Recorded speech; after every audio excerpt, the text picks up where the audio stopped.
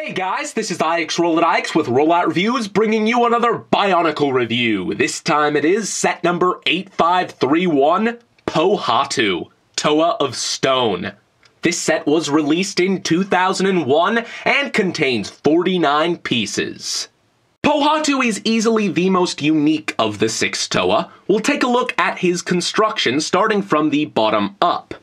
In his standard foot parts, he has some toe extensions. These slide in through the bottom and are locked in place via an axle. They essentially serve as Pohatu's weapons, allowing him to kick even harder. He has some pins stuck in his legs, and just like Gali, these are technically only there for the Toa Kaita combiner model that he's a part of, but they do add a little bit of armor to his legs. The most important characteristic of Pohatu is that the standard torso piece has been flipped upside down. His legs attach where all of the other Toa's arms attach, and vice versa. This means he has a gear function in one of his legs, allowing it to swing back and forth. The other one is locked in place. Similarly, his arms are attached via an axle, meaning they are also locked in place. But you can detach them and reattach them at a 90 degree point if you see fit for more articulation.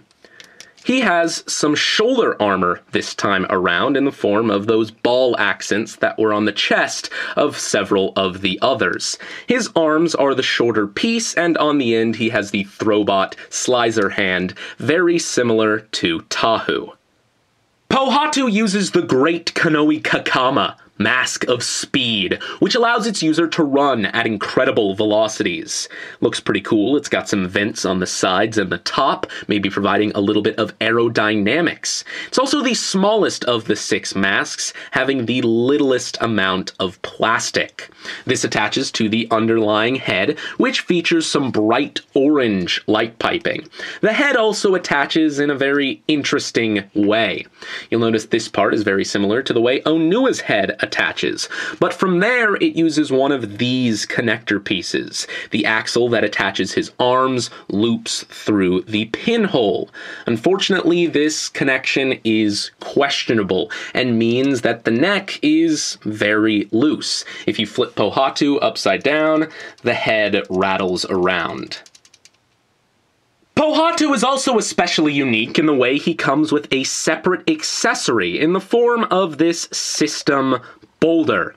There's no way of officially storing this on his person, but of course there are ways of displaying it with him. You can set it on the shelf next to him, you can have him hold it in some way, but I think the best way of going about doing it is taking these two studs and plugging them into the pinholes on the bottom of his arm.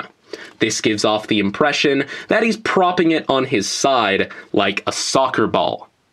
While all of the other Toa have a gear function that allows their arms to swing forward and back, Pohatu instead performs a kicking action. More specifically, this allows him to kick the boulder he comes with. Unfortunately, the positioning of this gimmick means he's not too useful in the Kanohi game.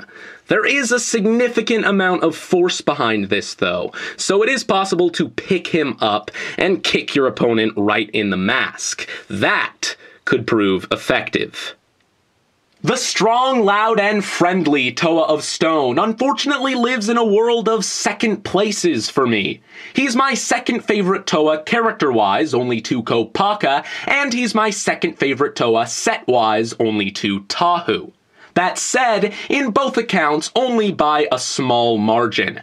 I absolutely love Pohatu. He has the most inspired build and the largest piece count by far. So that is about it, guys, and this is IXRolloutIX, signing off.